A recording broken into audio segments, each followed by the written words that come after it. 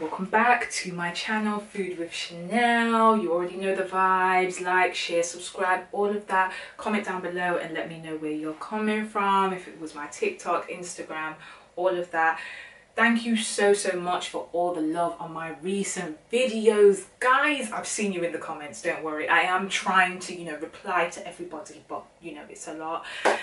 Today today we are making what are we making again? Curry mutton curry goat, whatever you want to call it. It, it is curry goat basically because it's goat meat. But we're making curry goat today, as you're going to see. Your girl put in the effort this time. I seasoned from the night before. I'm going to show you.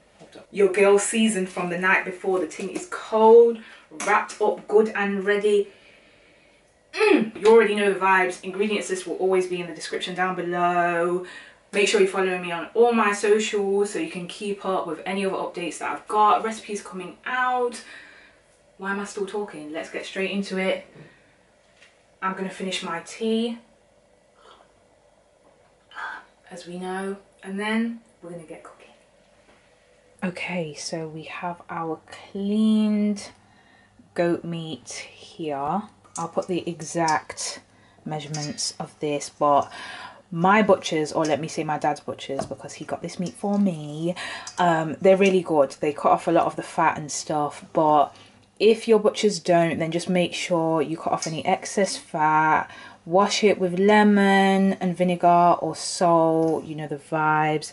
And then here we've got our fresh seasonings. We've got some ginger garlic thyme scotch bonnet and scallion or spring onion here we've got some of our dry seasonings, Jamaica Valley curry powder, Maggi liquid seasoning, black pepper, garlic salt, whole pimento, all-purpose dry thyme and some green seasoning. This is optional because basically green seasoning is a blend of this. So that's how you can make your own at-home green seasoning. Obviously, you know, Chanell is just extra. So we're going to add in both you know let's get straight into this 24 hour marinade. I told you guys i'm stepping up okay? So let's get straight into seasoning this. Okay guys so if you watched my last video then you know your girl ran out of gloves. I've still not managed to get any. So you know what we're to do today?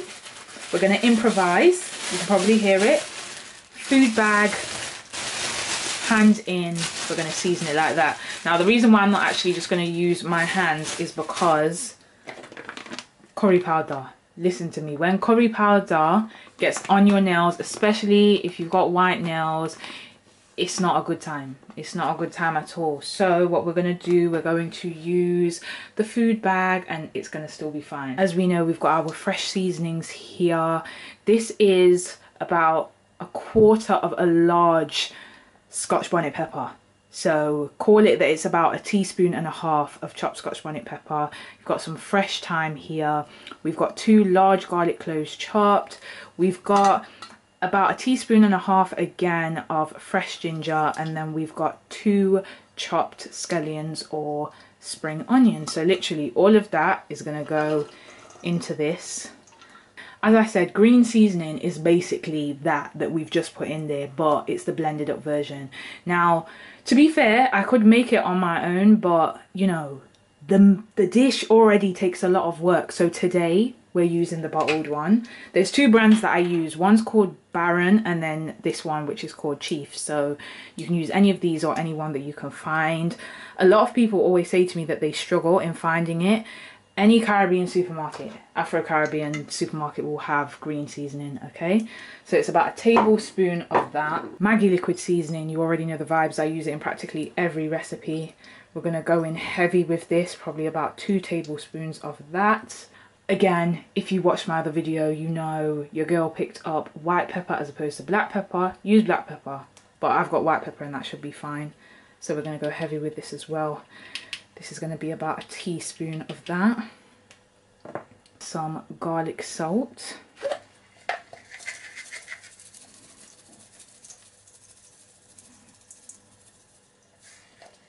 About a teaspoon of that as well. We're going to add some whole pimento seeds or allspice berries as some call them. So we're going to add about a small handful, so call it about eight of them you're going to put in there. Going to also add some all-purpose seasoning. I always rock with Dunn's River or Jamaica Valley, always. So we're going to put about two teaspoons of that. Um, dry thyme, and that's going to be about a teaspoon as well. Finish that off. Now for the curry powder as well. We're going to add about a tablespoon of this. Actually, you know what? It's about two tablespoons to be fair. Yeah, two tablespoons of that because it is curry that we are making. So the curry I feel look colourful. So we're also going to add some garlic granules. This is kind of optional because you've already got the fresh garlic in there, but I like to add some. So we're going to add some of that about half a teaspoon of that. And then we're basically going to get straight into it. Get your glove or your food bag. Scrape out all of that excess seasoning that you may have had in your bowl. And then you literally just want to mix it all in. Of course it's going to be a bit difficult with the bag. But don't worry, just work with me. Take your time get it all mixed in and then what we're going to do is marinate this overnight okay? So it's always best with meat like mutton goat meat oxtail. Overnight is always best because all those flavors are going to work in nicely okay? So literally all I'm going to do is marinate this in as in mix it in sorry for a few minutes just get everything coated so look as you can see it's getting like that. Definitely don't wear white and don't have white nails like me when you're making curry goat it's not it's not the one okay? Because this will stain but that's a good thing. You see how the meat is like this yellow color? That's basically what you want.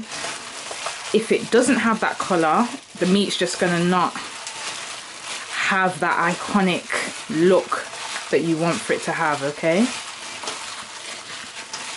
So once this is all mixed in like so, take off your food bag or your glove and then literally this is what your meat should look like. Nice and yellow and ready to be wrapped. But now what I'm going to do is wrap this in some cling film, put it in the fridge and then tomorrow we will be ready. And remember what I said to you guys?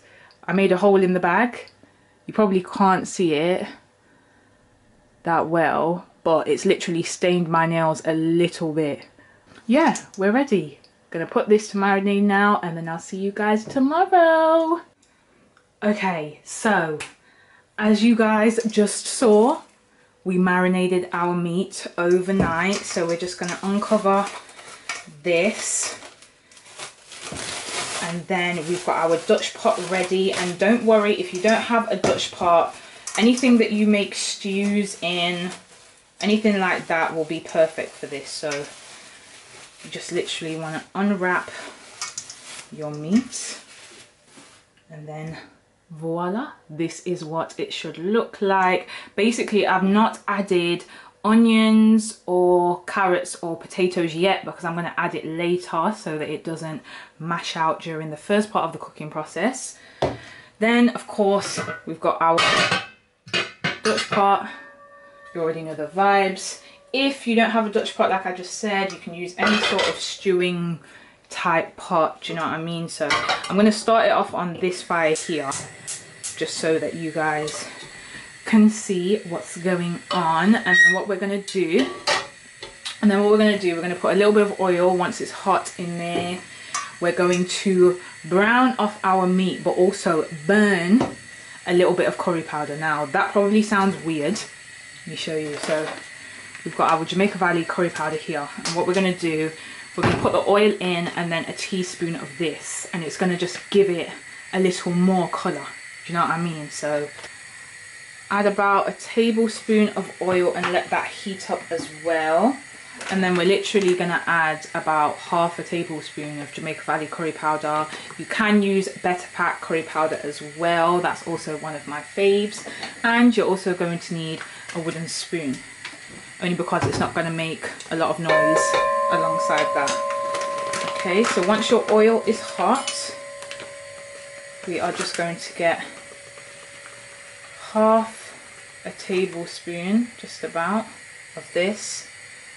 Sprinkle that in. And then basically what you are doing when I say burn the curry powder I don't mean literally. It's almost like you're cooking it. You're cooking it out. Like so. This even still needs to get a bit hot. But it kind of just begins to release some colour like this okay so as you guys can see, I've moved it onto a bigger flame and it's already releasing some like smells and flavour. Okay, so once the oil looks like that, it basically should just look yellow. You want to add in your meat. Now, I know I spoke a lot about having stains on nails when cooking meat, but I'm getting my nails done, so don't worry about it. So what you want to do, you just want to add in your meat.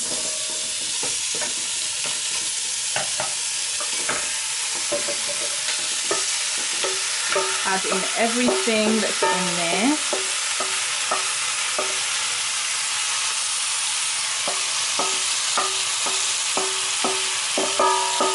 And then you're basically, as I said, you're going to brown up this meat. So you just want to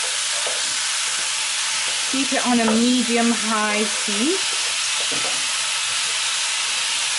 And just get this moving around. So I'm just going to hold it with that. And you just want to cook all that curry seasoning because the reason why you want to almost, as we call it, cook out the curry is because if you don't, you will get a very upset stomach. Those that know, know. All my Jamaicans, all my Caribbeans, them, anybody that's cooked with curry powder, then you know. If you don't cook it properly, it will run your belly, as we like to say, okay? So you just want to get that meat browned. It should take about 10 minutes just to get it all browned. Make sure you've boiled your kettle as well so that you've got some boiling water ready to add and then yeah what you can also do as well whilst that's happening you can put the lid on. Because what it's going to do it's just going to release the juices from the meat for those few minutes and then you can come back stir it and it will be good. Okay so it's been a few minutes maybe about four minutes now with the lid on. The meat will just start to release some juices. So as you can see it's not sticking to the bottom or anything but it's just browning off nicely so you just want to stir your meat. Get everything working in like so. And just make sure all your pieces are brown. Okay. So as I said it should take about 10 minutes just to get them all brown on a medium high heat. Not too high you don't want it to to burn or catch at the bottom as we like to say. You don't want it to start sticking. So again, just leave it like that. Put your lid on. Check on it again in a few minutes. So it's been about 10 minutes now. As you can see all those juices, that's all the juice coming out of that meat. And it's all browned now. So what we're going to do, take some of our boiling water and just cover that meat now I never know the exact measurement of this, but literally, because this is about two pounds of goat meat here, you literally just want to make sure that your meat is covered like this because this is the low and slow process that we're talking about now. This is going to literally cook for probably about a total of maybe about three hours on for now it's going to be medium low between low and medium low because you don't want it too high and you don't want it too low either just for this part of it. But put it just between low and medium low and check on it in about 45 minutes and then we're going to give it a stir after that. Or probably about an hour actually. We're going to come back to this in about an hour. Yeah. Or maybe even sooner. I don't know. But you guys are going to be here with me so yep. Just get your lid put it on now and leave it alone so we are an hour into cooking. This is how our meat is looking. It should just be starting to get there now. So this isn't fully cooked at all. So obviously everything looks brown and you know it's working its way in but it's still tough because goat meat it needs a long time to really to work in together. And as you can see the pieces of meat have shrunk and all those juices are in there. So now what we're going to do we're going to add a whole scotch bonnet pepper and this is like about half of a large onion. Don't worry about it being spicy. This is purely for the flavor of the scotch bonnet pepper. So not the spice. The spice is all on the inside. So this has got a little bit of a kick because i've added some chopped scotch bonnet pepper in there but this one here is literally just going to give it some flavor so we're going to add all of that in there. And then also later on we are going to remove the scotch bonnet pepper anyway. So you don't keep it in there for the whole duration of cooking. Probably for about another hour I'll say. I might check on this in 45 minutes like how it's been an hour and now I've added the onions in and then I've got some chopped potatoes as well but they go in probably about the last half an hour to 40 minutes of cooking possibly so yeah you just want to get that back on it's still between medium low and low so we're just going to put the lid back on and then check back on that in about 45 minutes. We are another about 50 minutes in now. So that's how we are looking. A lot of the water has basically gone now as you can see. Let me take out this scotch bonnet. So you see how the scotch bonnet is basically still whole, it's not popped or anything. That means that all the flavour has come out but none of the spice. Okay, so I'm going to take this out now because I don't want it to pop. If anything, I might add it back in later. Just going to give this a bit of a stir. I'm going to also add in some more water in a sec, but if you see, that meat is beginning to cook and get nice and tender and fall off of the bone. To be honest it's kind of fallen off of the bone already but it's still not there yet. It's still not there yet. Don't be fooled. You still want for it to get some more time to get even softer than this so what I'm going to do I'm going to pour in some more water. This time just so that it's just about covering so not totally submerging it in water but just enough like so. And then I'm also going to add in a beef stock cube and the reason why I use beef is because goat meat is quite a uh, how could you call it? Um it's the type of meat that needs a lot of love basically. So I like to add a beef stock cube in there mix that in as well. It just gets those flavors working together even more. I might even add a bit more water in because what we're going to do in about 40 minutes in another 40 minutes we're going to add the potatoes in. So let me add in a bit more boiling water. Yeah that should be fine and then again cover it it's still on that medium low low heat So this is nice and low and slow. We've not rushed this at all. And that's the best thing about when you're cooking curry goat. If you cook it low and slow, it's not tough, it's not dry, and all those flavours really get to work their way into the meat. So we're just going to cover this back up again. And then we'll check back up on it in about 40 to 45 minutes. So it's been about 45 minutes now. So we're going to check it again and we're at practically the final stages of cooking now so oh yes yes, yes, and yes, honeys. This is looking nice. This is looking good.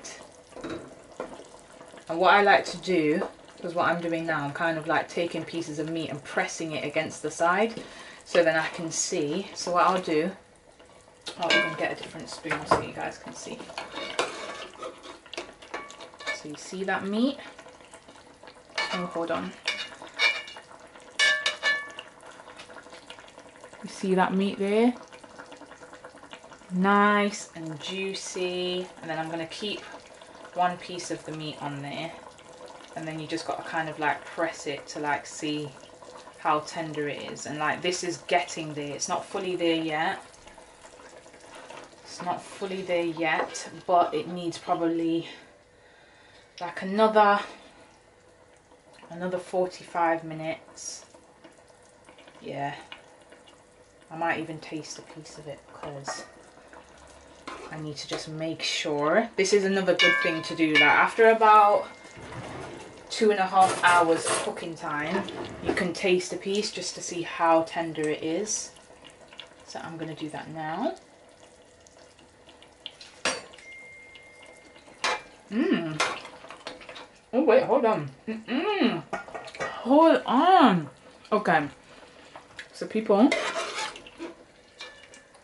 the meat is tender. The meat is so tender. Look, some of the bones have fallen off already. I'm here saying it needs longer.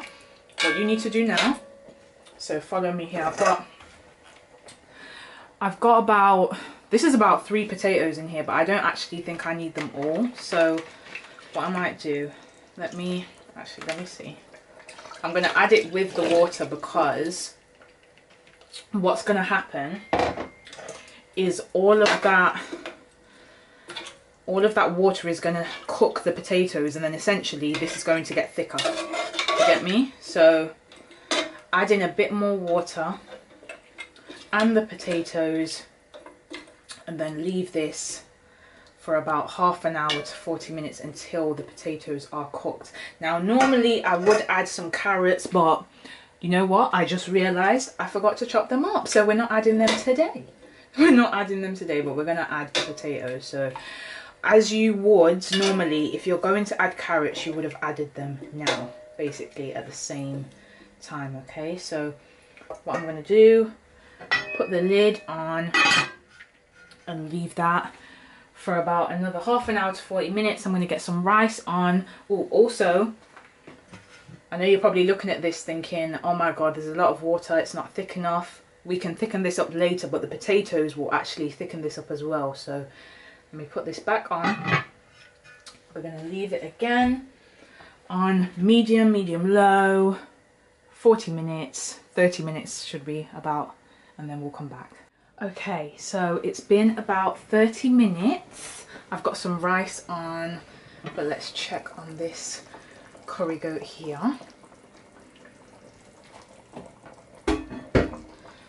And it's looking like our potatoes are cooked because they're starting, when they start to kind of look like that, as you can see, you know that it's basically cooked.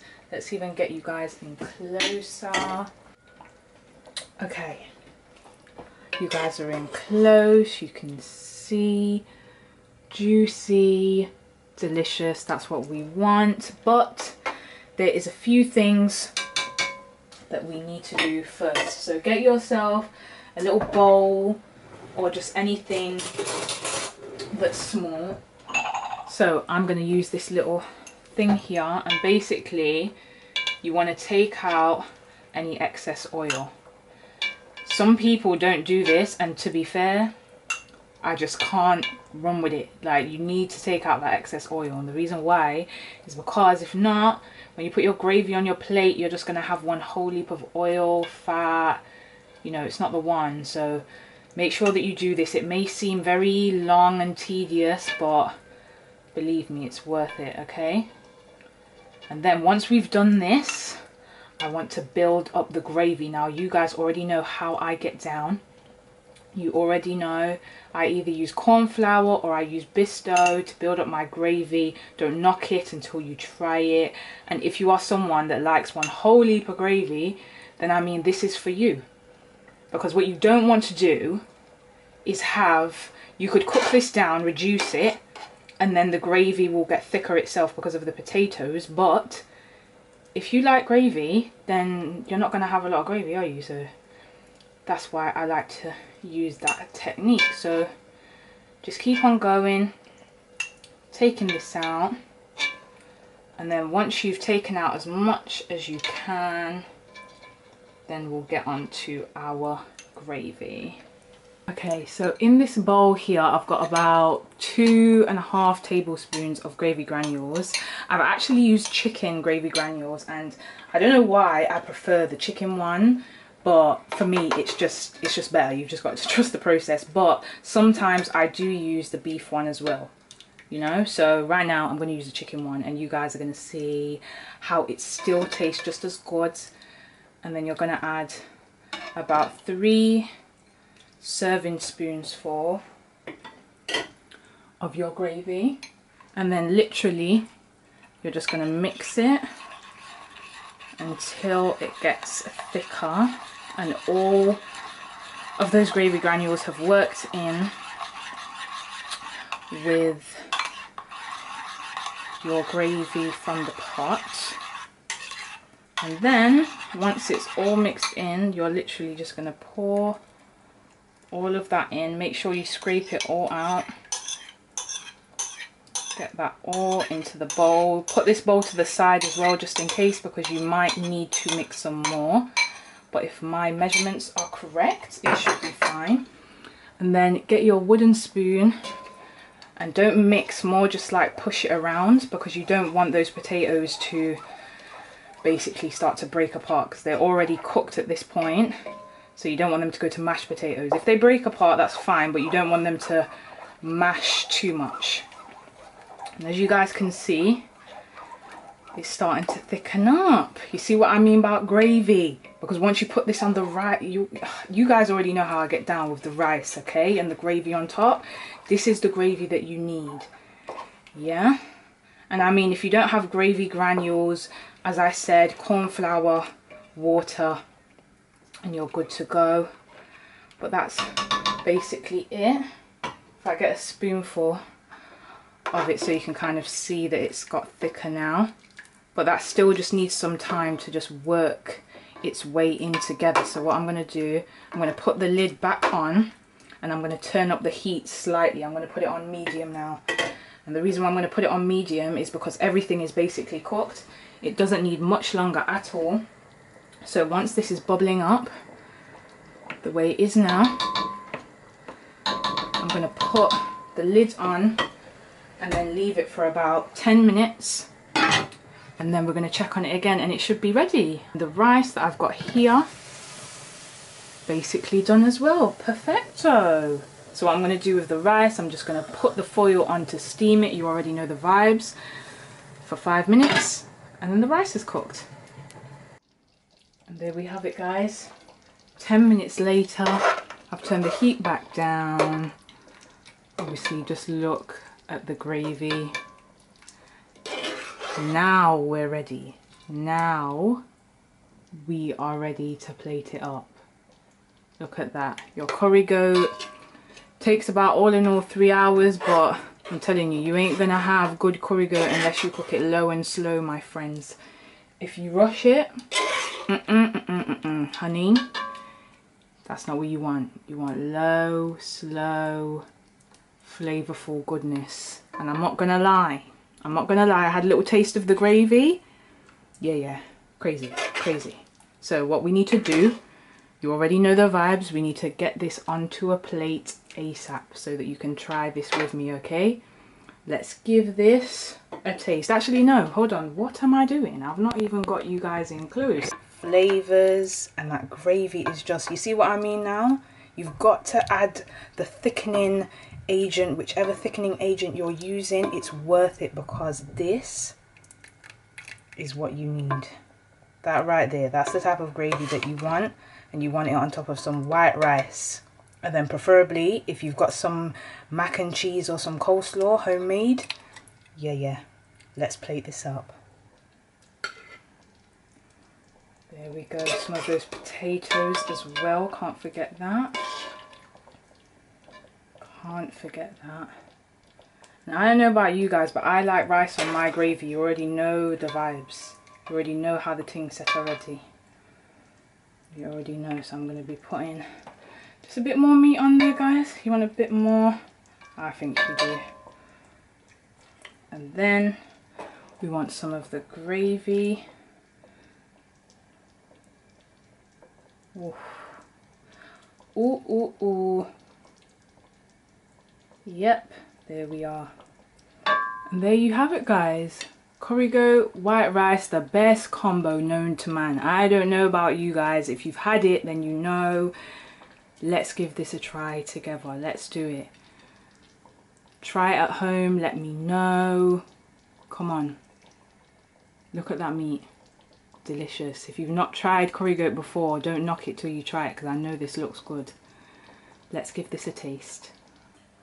Guys, come on. Come on, you already know the vibes already. You already know the vibes. Oh, I'm, I'm already so excited. I was so excited, imagine I burnt my hand. I burnt it there, you probably can't even see it it always happens to me, I'm not gonna lie. I'm really bad at burning myself, but I was so excited trying to get the meat on the plate. I burnt my arm, so I'm in a little bit of pain. But,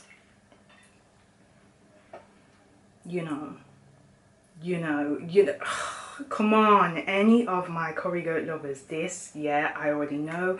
You're wanting to see me try this. You want to try, of course, I'm going to give you the first bite. You know why this is so special as well? I'm so excited. The reason why this is so special is because I literally about 30 minutes ago hit 50,000 followers on Instagram so your girl is excited I'm kind of like oh my god it's Friday so you know but until then you know take the first bite let's get some of the meat for y'all I want you to see how tender moment of silence just just that there you go there you go. I told you, don't play with me and my recipes. Where are my fans? Where are my family? Where, where are you at? Let the newbies know. If they're new, let them know. Don't sleep on her recipes in it because, you know, you know the vibes. You know the vibes. That meat like came off of that bone. That bone there, that bone there, that meat just came off of there. You take that. Oh, how can I forget the rice? Come on. Come on. You already know how Chanell gets down. You already know how Chanell gets down. You take that. I'm already looking at this like, come on. Again, don't wash my nails. I need to go and sort it out. You already know, but you take that and now I'm going to take it.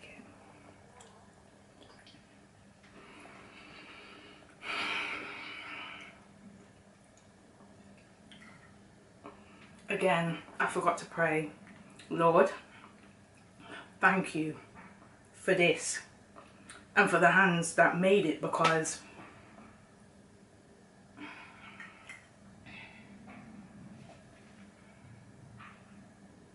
that rice and gravy right there is calling me. I'm just saying, I'm sorry, hold on. Mmm, mmm. If you don't add butter to your rice, please Okay. Okay. tell me if you are a Caribbean yard food lover, this is what you need right now. Take that. Take it, friend. Take it because you deserve... Oh. Mm -mm. Okay. Look at the meat. Look at that. You think I was playing? Come on. I told you already. Low and slow is the way to go. If you go low and slow, you're going to get tender meat, okay? Take it. Take it. Because you know why you're going to take it? My 10k gang is almost here. Okay? I said it in the final video before. Go and share the channel with a friend and let them know. Let them know to take that. take it. Go and make ingredients list down below. Go and make this recipe for your family for one Sunday dinner. This is Friday's recipe. You already know a recipe drops every Friday. You can be making this for Sunday dinner. Come on. Oh my. I know you probably think half the time I am exaggerating, but my real ones know. The ones that make it, they know. They know. They know. Mm -mm -mm. Okay, I'm gonna stop. I'm gonna stop. You know why? Because the camera battery is about to die. oh, thank you guys. I love y'all. I love you guys so much. You know, you just oh, you make me feel so good. You literally don't know how much this all means to me. 50k on Instagram, like. Honestly, I'm so thankful. Thank you so much. Insta, TikTok, all of you. Honestly, I can't express how thankful I am. I just can't believe I'm hitting all these milestones still because I did kind of think it would get to a point where everyone would be like, okay, we're tired, we're tired, but you're not tired. So, you know, join the family if you're not. If you're watching this and you're thinking this girl is mad, join the mad party. Welcome to the party, join the family. You already know Chanell A. Wallace on TikTok and Food with Chanell on Instagram and on YouTube. You already know the vibes. Like, subscribe, comment down below. Let me know what you thought of this video. I'll see you guys in the next video because it's about to be lit.